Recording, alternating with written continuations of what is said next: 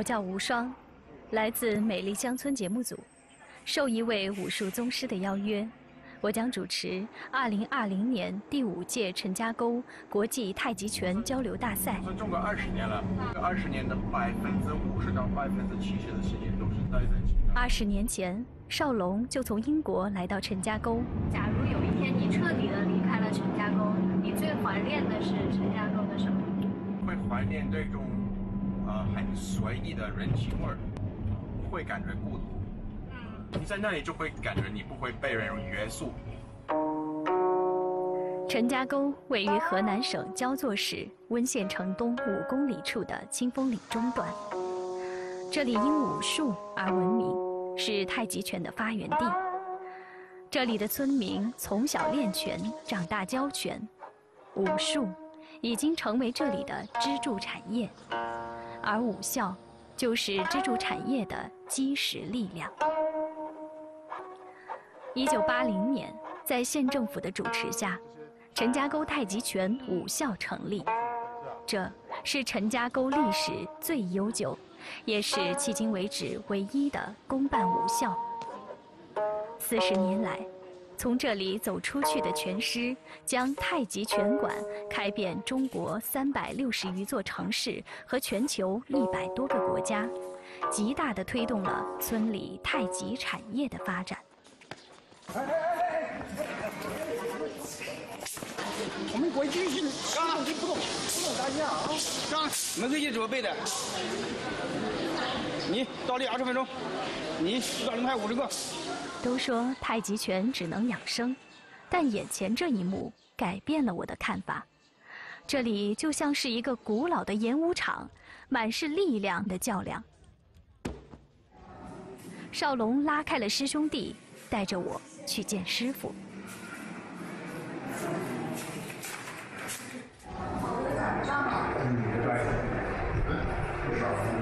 啊，这就对，嗯，对。他去去了很多不同的国家，嗯，嗯，去过南极、南极洲。哇。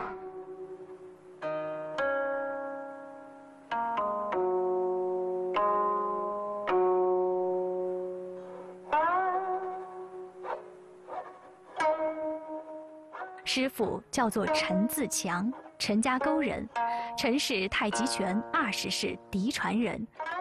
多年前，我和师傅在武林大会的比赛中相识，但这却是我第一次看他练武。因为太极拳的发招依靠调息运气，所以少龙制止了我打扰师傅。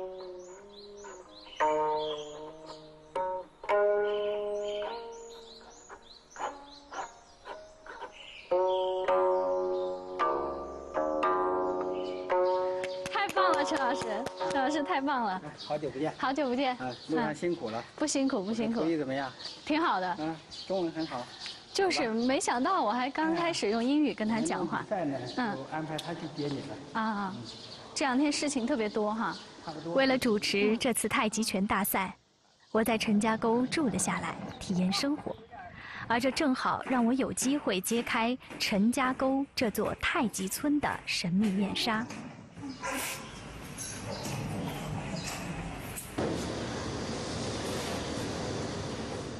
待个几天能学出什么样来？嗯，姐姐，我们练功穿这种运动装可以吗？也行，只是说没有规矩不成方圆。我觉得还是穿太极的好。陈家沟以武立村，和谐圆融的人际关系，恰恰反映出村民们一直严格恪守着传统的文化与美德。陈家沟的饮食以面为主，我在这的第一顿早餐便是肉夹馍。夹在馍里的除了羊肉，还有这里的特色烩面。在陈家沟有句老话叫“吃完馍馍去练拳”。在物产并不丰富的年代，勤奋的村民为了练武，开创了合二为一的吃法。馍馍养育了一代又一代的练武人。刚才吃这个了吗？那这个了，但这个真的有点多。练了之后跟练之前感觉挺不一样的。时间长了，练的功夫好，很轻松了。陈家沟的村民不到四千人，但每年到访的游客、学拳者却络绎不绝。安逸安逸，就是这个很好很好的意思。漂亮哦！一个下午吃早饭都高兴。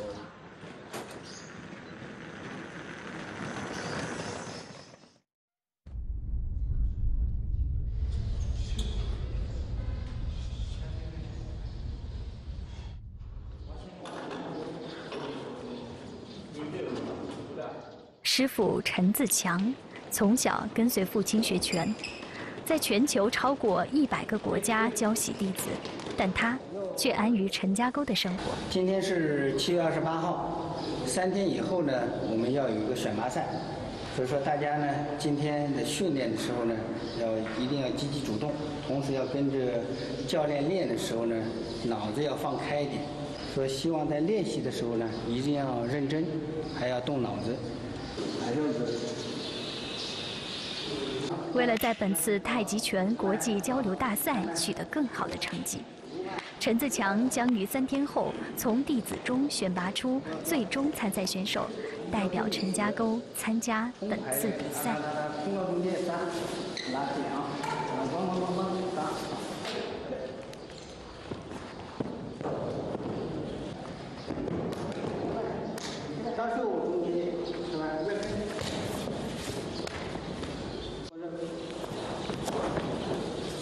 然后他能，不管他咋的跑，你他能控制这个距离就，抓，这手，一高以后，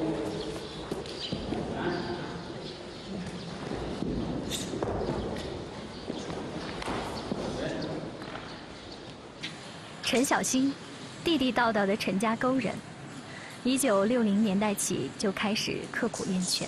是第一批把太极拳传播到海外的陈家沟人。这张照片是我去波兰郊区的时候，在他那首都那个那个那属属于纪念馆嘛，去那里参观了。这英国学生说：“师傅，你坐上再照张相吧，给孩子留留了一张照片。”陈小新的经历是一代陈家沟人的奋斗史。他们通过不懈的努力，把陈家沟的名声远播海外，也让自己从普通村民成为了一代武术宗师。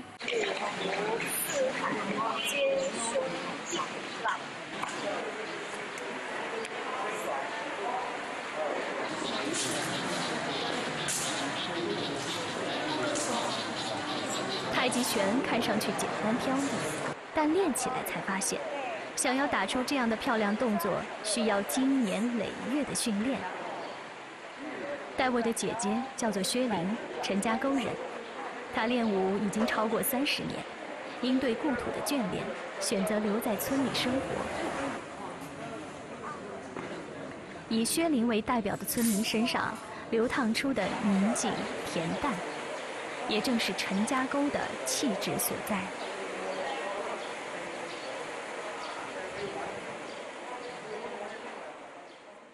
Hello, hello.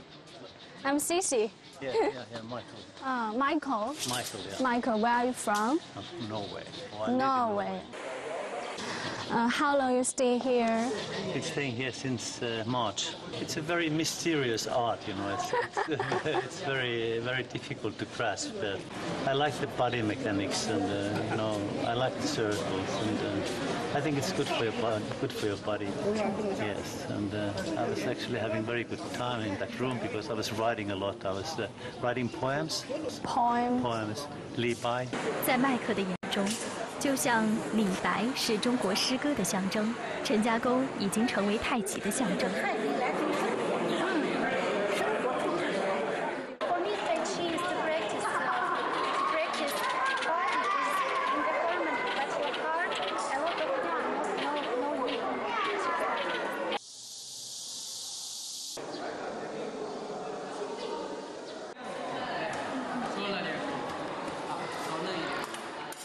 尽管与外面的交流越来越多，但陈家沟的村民仍保持着简单生活方式。村里的孩子们从小被送到武校，面对单调的集体生活，一顿训练后的午饭也能带来简单纯美的幸福。这让我明白，为什么外面的人来了就不想回去。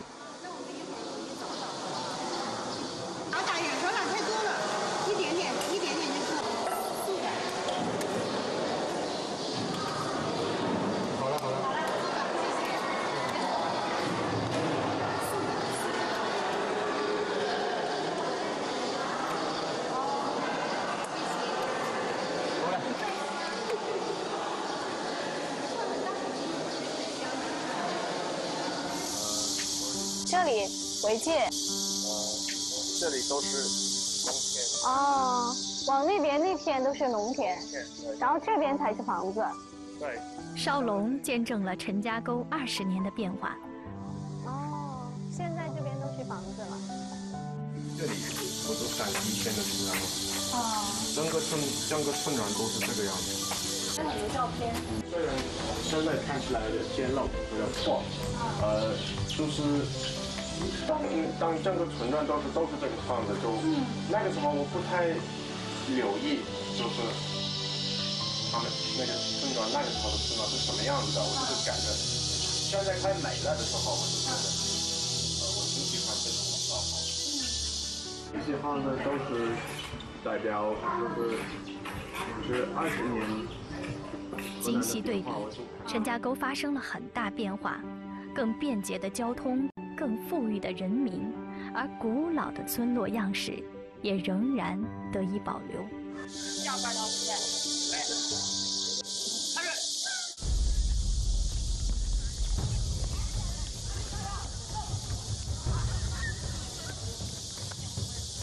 在陈家沟，太极拳的影响已深入到人们生活的方方面面，哪怕是一场球赛。都和别处的玩法不太一样。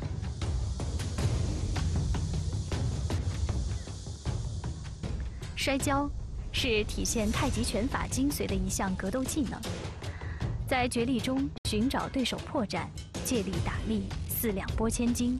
但是想从对方持球人手中抢球，只能通过一对一的摔跤，否则将被判罚犯规。正是这样的成长环境。让陈家沟成为武术家的摇篮。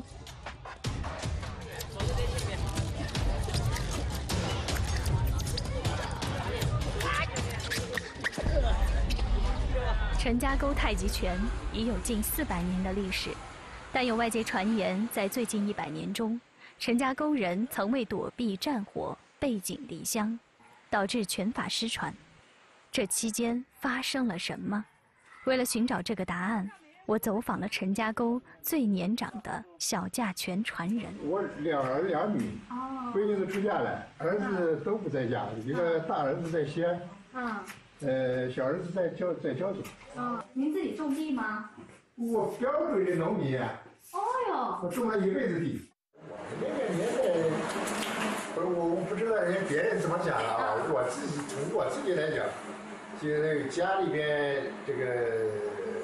父辈们，因为太极拳这个这个几百年历史的，因为通过战争，这个这个如果在我们这个这个年龄段，如果如果再不继承断代，因为有个老头，当年人家人家在那是练练练的少林拳，呃教了不少徒弟。我们去了以后，我们在一块谈很很合得来，人家带着人家徒弟来。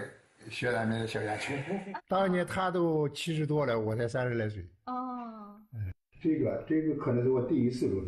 哦。这这这是这这个是在河南开封。嗯。那个时候三十，三十八九岁吧。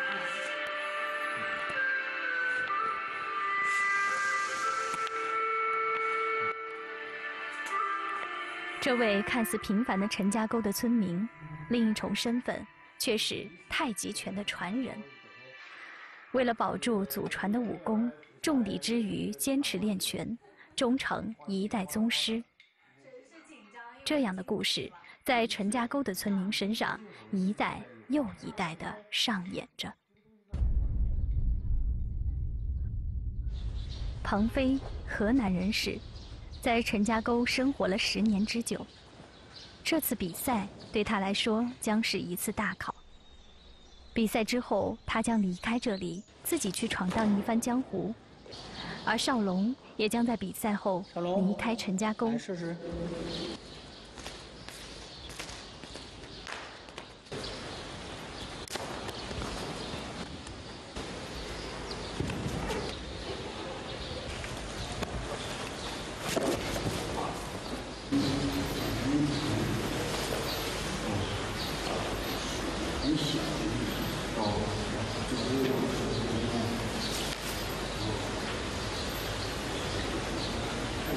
教练，选拔赛两个他敢不敢？可以。看清楚了，看到时候谁比较厉害一点。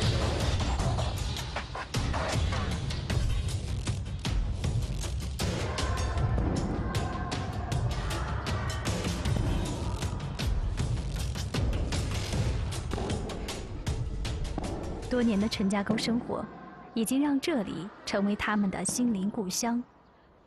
除了武术，少龙和庞飞在陈家沟更收获了友情、亲情。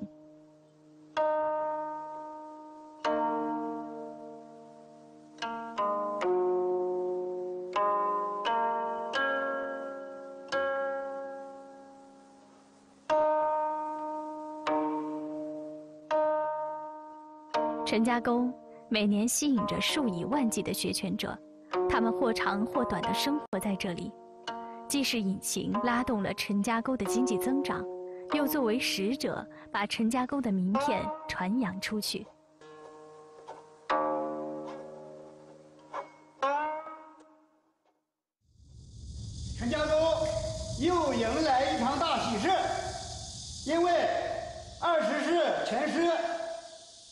陈自强先生再收新徒，现在。如今，太极拳已是闻名世界的武术拳法，但收徒仪式仍然遵照古法。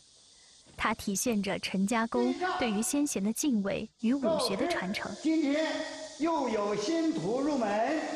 我们现在在外面教拳，都是我伯父啊、我父亲啊，他们以前走出去给我们开辟的路线。我们呢，就是他们退休以后呢，我们就又承接上了。承接上了，我们又在他那个基础之上呢，又开辟了一些。在两代人的不懈力下，太极拳成功拓展海外。这不仅传扬了中国武术，更给陈家沟人带来了经济繁荣。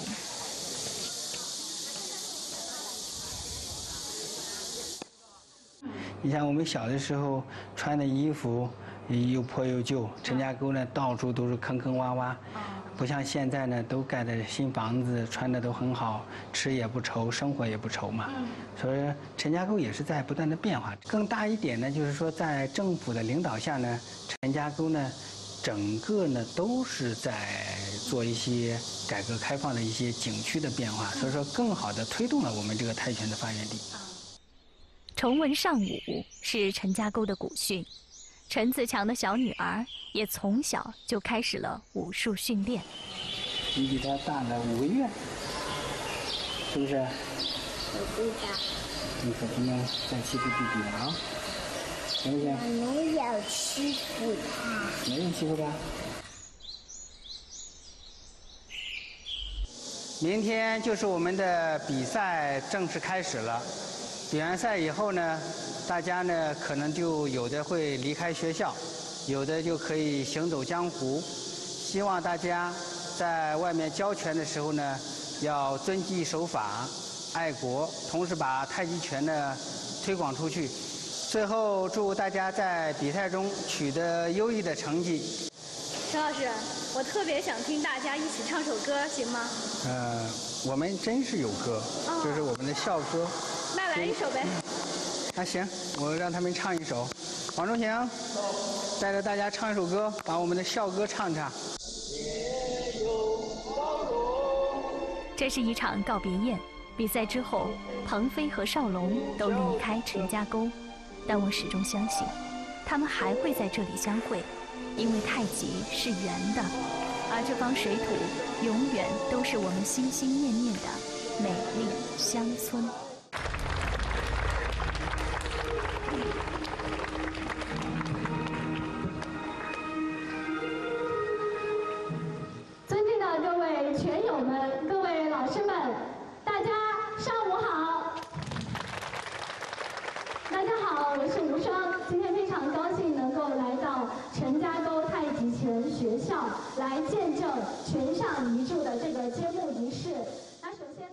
一九年，陈家沟的一位拳师在南太平洋上救治了一位病重的酋长。酋长为了报恩，在二零二零年将当地特产的百年神木跨越万里海疆，送到陈家沟，拳上遗柱由此而来。二零二零中国陈家沟国际太极拳交流大赛隆重举办。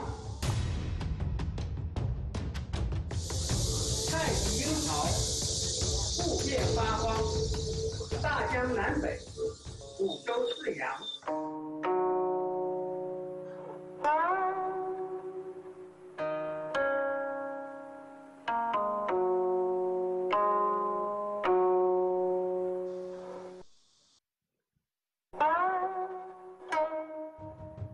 大赛开始，分为套路表演和散手对抗两类。上千名拳手竞相登台，我的身份变回这场大赛的主持人。我看的，想要参观并且给弟弟助威，然后体验一下这里的那个太极拳不仅是陈家沟的特色，更是陈家沟的致富产业。陈家沟依托太极拳发源地的全球影响力，通过武术培训、特色文旅及周边产品，打造太极拳特色产业，带动乡村致富。通过国际交流比赛、太极拳学院创办，持续输出中国武术文化。近五年来，陈家沟吸引的全球投资总额已超过四十亿元人民币。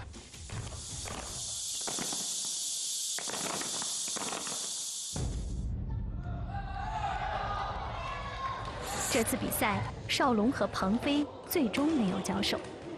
鹏飞参加了散手对抗比赛，最终获得了亚军；而邵龙参加了套路表演，最终获得一等奖。他们的故事暂且说到这里，我也即将返程。但临走之前，我去了一个特别的地方。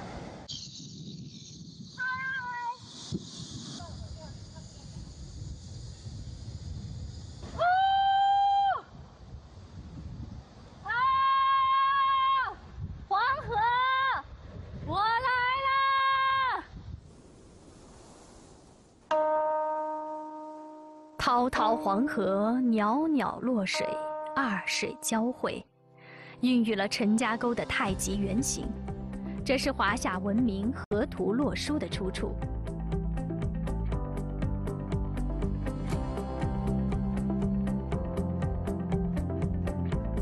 陈家沟以太极拳立村，在一代又一代村民的不懈努力下，从一个默默无名的小村庄，发展成为世界知名的武术圣地。